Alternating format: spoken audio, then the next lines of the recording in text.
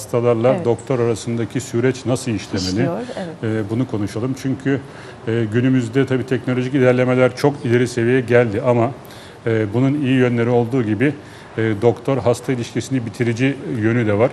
Buna karşı da e, hastalar da e, dikkatli olmalı. Doktor daha daha dikkatli olmalı. Hem olumlu hem olumsuz Ee, o zaman. Evet.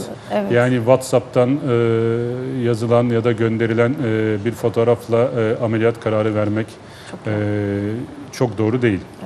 Bu tamamen doktor-hasta ilişkisini e, bitiren bir uygulama. E, fakat hastalar kolaya kaçıyorlar çeşitli sebeplerle. E, tabii e, WhatsApp'la dünyanın öbür ucundan bize ulaşabiliyor. Çok güzel Tabii bir şey. E, bu yönü harika.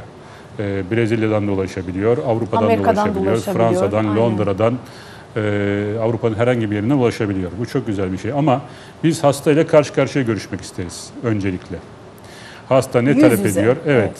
Hasta ne talep ediyor? Niçin talep ediyor? Beklentisi nedir? Bunu iyice anlamaya çalışırız. O beklentileri ne kadar gerçekçi? Mevcut olan durum nedir? Onu tespit etmek lazım. Onu tespit ettikten sonra acaba beklentiler e, beklentileri karşılayabilir miyiz? Yani bu mevcut olan durum diğer duruma evrilebilir mi?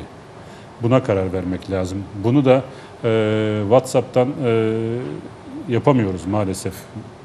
Çünkü hekim de e, 24 saati e, belirli yerlere ayrılmış bir insan tabii ki diğer Kesinlikle. insanlar gibi. O da e, ameliyat e, esnasındayken herhangi bir şey cevap verme olanağınız yok. Hastalarla e, görüşürken e, cevap verme olanağınız yok. E, e tabii gece siz de istirahat ediyorsunuz hekim olarak.